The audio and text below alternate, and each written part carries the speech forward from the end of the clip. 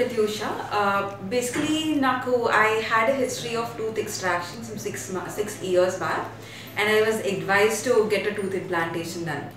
And up until I was so scared, I never wanted to meet a dentist.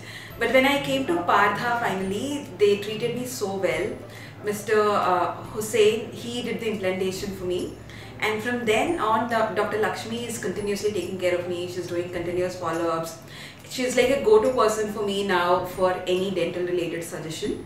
And now my dental procedures are completely done, and I'm totally, totally happy with Partha.